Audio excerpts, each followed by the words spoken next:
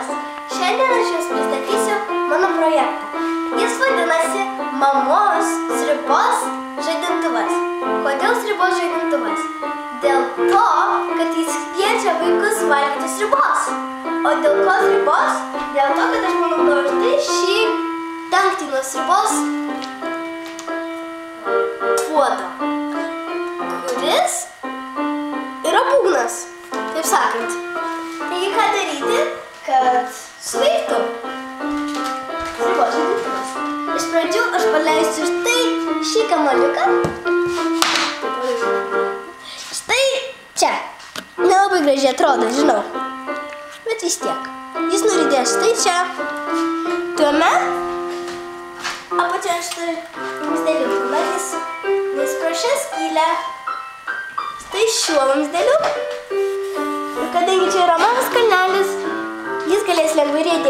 Riedėti. Ta pati pakartos toje skylėje.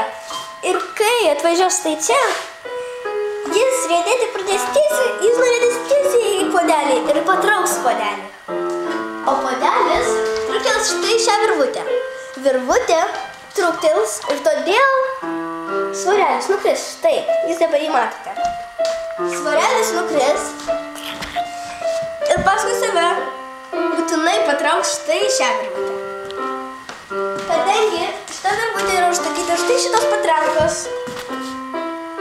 Ir štai čia yra knutės, jos kaip patranka. Štai šitas kamštelis su išaus. Ir pakvies vaikus valgyti.